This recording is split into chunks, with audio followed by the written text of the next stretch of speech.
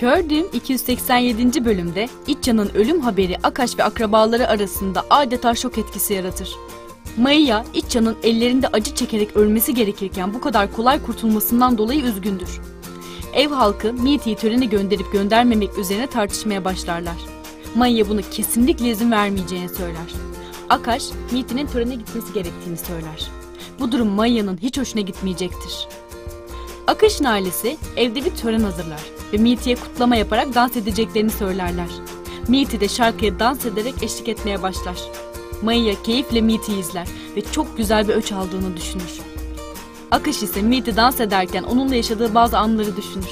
Birden kendine gelerek ben ne yapıyorum havasında Meety'yi izlemeye devam eder.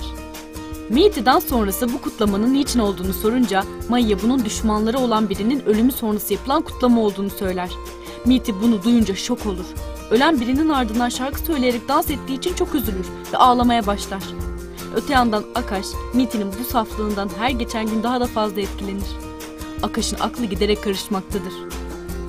Ragu ve Jogi işlerin artık tehlikeli bir hal aldığını düşünerek polise gitmeye karar verirler.